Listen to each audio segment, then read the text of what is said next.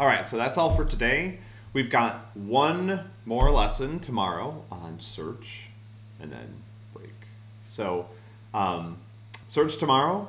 We're to break. When we come back, the Monday after break, we will have a lesson that day uh, because you'll have a quiz on Tuesday. So our lesson will be a review of sorting algorithms. We'll look at some of the comparative performance. We'll talk about input dependencies and some other things that we talk about when we talk about sorting algorithms. But it also just be a chance to kind of refresh your brain after break.